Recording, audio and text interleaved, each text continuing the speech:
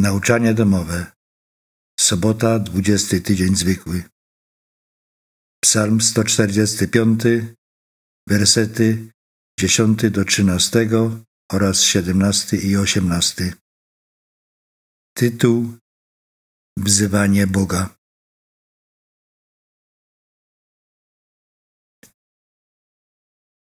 Niech Cię wielbią, Panie, wszystkie Twoje dzieła i niech Cię błogosławią Twoi wyznawcy. Niech mówią o chwale Twojego królestwa i niech głoszą Twoją potęgę. Aby synom ludzkim oznajmić Twoją potęgę i wspaniałość chwały Twojego królestwa.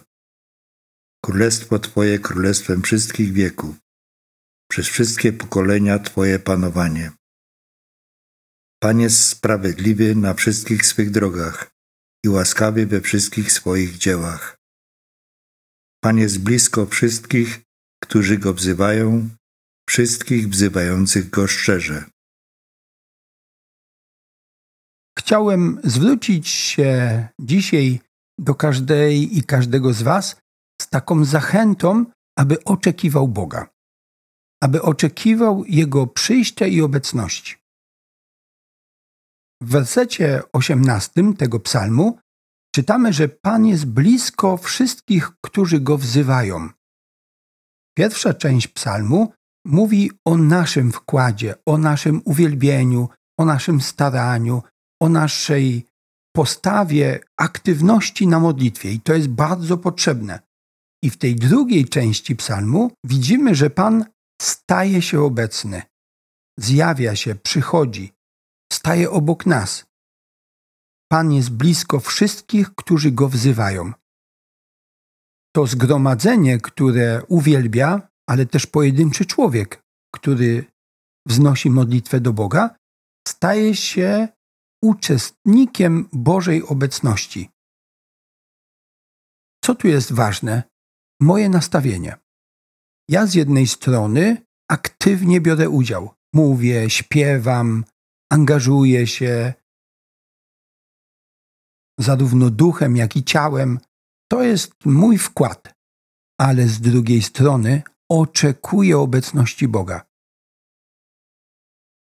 Ważna jest moja postawa, moje nastawienie serca. Ja chcę, żeby Bóg przyszedł, ja chcę, żeby był obok mnie i we mnie. To oznacza oczekiwanie. To oznacza świadomość, że wszystkie moje zabiegi, że wszystkie moje starania, że całe moje uwielbienie i ta moc, którą wkładam w to, nie produkuje obecności Boga. Bóg przychodzi, ponieważ podejmuje taką decyzję. Nie dlatego, że ja teraz go zmusiłem do czegoś, albo że ja wytworzyłem taką atmosferę, wytworzyłem obecność Boga. Nic z tych rzeczy. Bóg przychodzi i staje obok nas.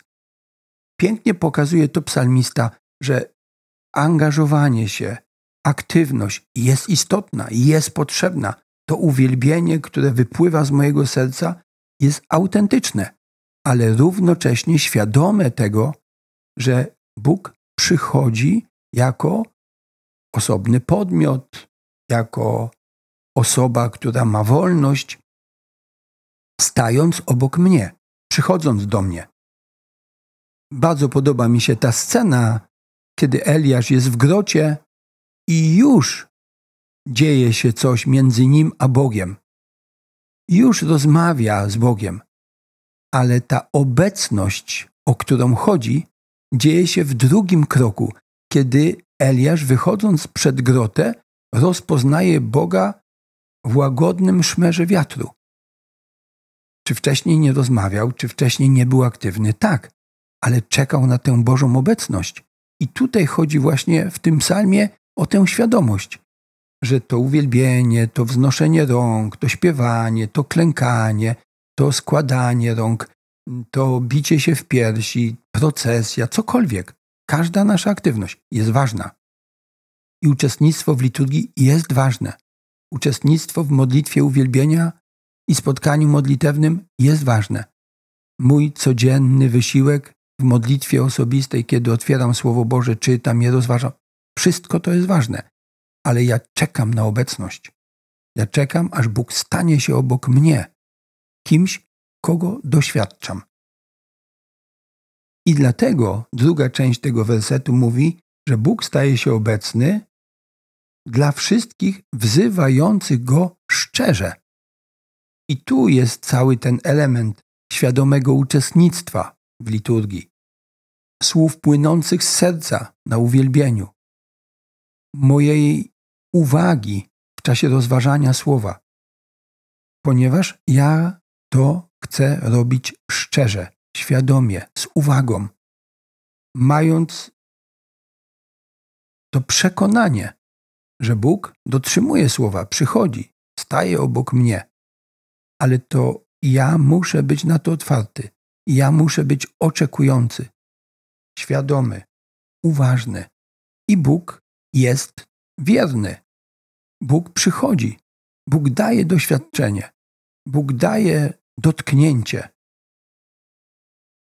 I za każdym razem, kiedy my jesteśmy otwarci, nastawieni, dzieją się nowe cuda, duchowe wydarzenia w naszym życiu. Nie zawsze są odczuwalne, tak mówiąc emocjonalnie, czy nie zawsze to jest w pełni zwerbalizowane, że ja potrafię to nazwać, że to była jakaś myśl, że to było jakieś poruszenie, to był jakiś obraz, czy było jakieś odczucie. Nie zawsze tak jest, ale Bóg jest zawsze obecny i czyni to, co jest mi potrzebne. A w tych momentach, kiedy to odczuwamy, przeżywamy, widzimy prost w sobie, tym bardziej dziękujmy za to, że Bóg jest wiernym, obecnym i działającym. Niech Twoja modlitwa dzisiaj i za tydzień i za rok będzie właśnie taka, będzie aktywna i świadoma, otwarta na tego przychodzącego, stającego obok Ciebie Boga, działającego w Twoim życiu. Niech On sam Ci błogosławi, Ojciec, Syn i Duch Święty.